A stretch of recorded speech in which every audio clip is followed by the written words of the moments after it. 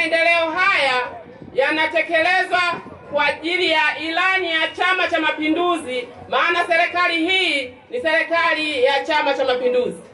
Ndugu zangu, nasikia fahari sana pale ambapo ninawaona hata watu mmejitokeza kwa wingi na nawaona zaidi wanawake mmejitokeza kwa wingi. Hongera sana kina mama.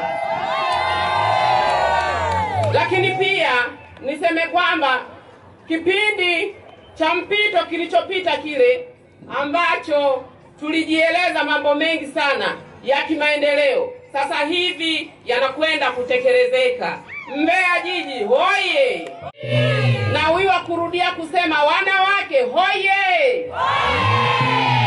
Nina maana kurudia kuwapongeza wanawake kwa sababu mheshimiwa wetu Rais wa Jamhuri ya Muungano wa Tanzania Mheshimiwa Samia Suluhu Hassan ambaye ni amiri jeshi mkuu, sasa sisi kina mama ndiyo tulioshika nchi. Mara nyingi nasikia fahari sana kuona uongozi uko juu wa wanawake.